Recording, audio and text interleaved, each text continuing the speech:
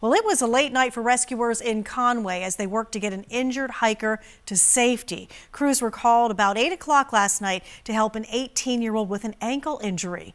The hiker was two miles up a trail that connects to Mount Chocorua. That person had to be carried out. All crews were out of the woods shortly after midnight.